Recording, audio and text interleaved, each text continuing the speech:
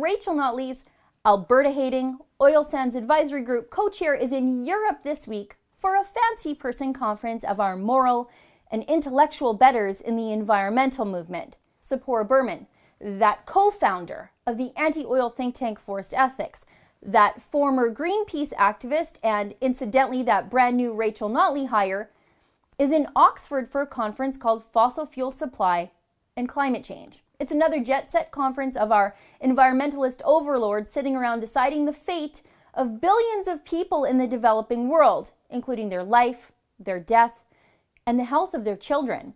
And no, I definitely don't mean that the environmentalists are concerned about making the lives easier and longer for people in the hardscrabble places of the developing world.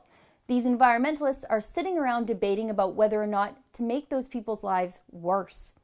Let me show you this one tweet from Tzeporah Berman, and then I'll explain. The tweet says, looking forward to presentation on new paper looking at whether fossil fuels led growth is a viable path for low income countries.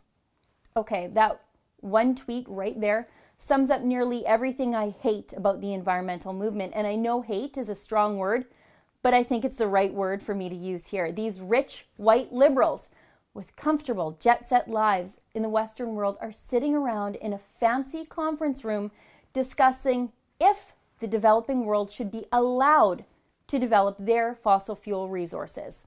It's gross. It's ironic.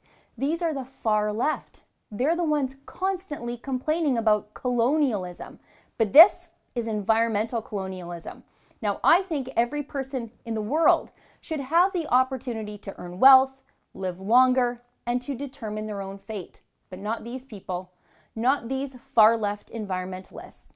They think it's their right to decide whether or not the people in the developing world will have the benefits of their own country's resources. The longer, healthier lives, the easier work life, the better access to hygiene and electricity and medical care, those are all the things that fossil fuel and mining wealth brings to developing countries. It's really a matter of life and death. This is what these racist environmentalists are sitting around debating. They're debating whether or not the children of a poor mud hut living farmer in Africa get to go to school because their dad was able to get access to a fossil fueled tractor, instead of those children toiling morning to night in a field all day with just hand tools to survive. And I call these environmentalists racist because it is racist to think that African children should be poor so that the Western world can meet some arbitrary CO2 targets that really mean nothing. Tzeporah Berman has had a lifetime of anti oil, anti Alberta, anti humanity activism under her belt. And I think she has no business being a co chair of the Oil Sands Advisory Group, deciding the future of Alberta's economy. Tzeporah Berman shouldn't be taking a dime from Albertans when she has spent her life working against us. If you agree with me, go to fireberman.ca to sign the petition asking Rachel Notley to fire this BC based, lifelong anti Alberta activist. And while you're there, you can donate to fund the billboard we want to buy. We want to buy a big, beautiful Fire Berman billboard, but we need help paying for it.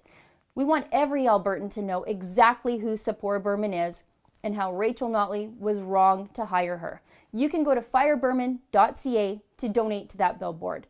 Surely there's an Albertan out there who doesn't hate Alberta who could do Berman's job for her. For the Rebel.media, I'm Sheila Gunn-Reid.